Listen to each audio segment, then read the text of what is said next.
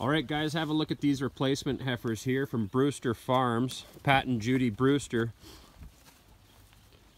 That's fantastic set of uh, replacement heifers here. There's about 80 in this pen, and uh, they're likely going to keep about 40 of the uh, Fleckvieh styled uh, heifers here, guys, with the white and blazes on their faces. Uh, just want to give you an example of how nice these fancy heifers are. Tons of hair on them. They're going to be crowding that 750 pound range. Uh, Brewster Farms out here east of uh, Little East of Delburne. Fancy heifers, replacement heifers, guys.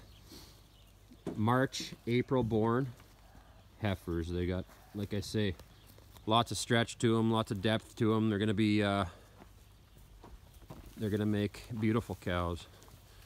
Simmental, there's a shot of Angus in a lot of these heifers. And the ones that may come to town, uh, they're likely going to be a lot of these straight reds. Nice and clean. There's no tag on the cattle. As you can see, March, April born heifers. A lot of Simmental influence in these heifers.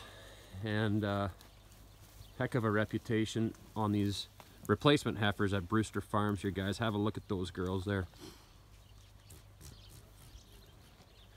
Like I say, they're going to be in that 750 pound range. March, April born heifers.